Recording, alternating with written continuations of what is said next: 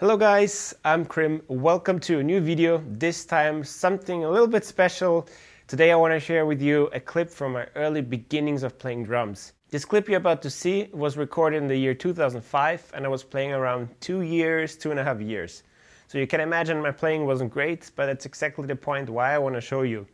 I want to show you that everyone has to start from zero and you have to practice a lot and work your way up. And also I want to show you because I remember the passion I had back then just you know doing nothing else than just playing drums.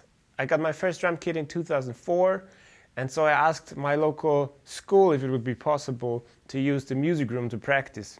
They agreed, so you can imagine I did nothing else than just play drums all day long. And this is exactly how I started to play drums as well. I was just playing along my favorite tracks at that time. Enjoy. Remember, quality is not the best, playing is not the best, doesn't matter. I hope it still can be an inspiration for you. Let's roll the clip.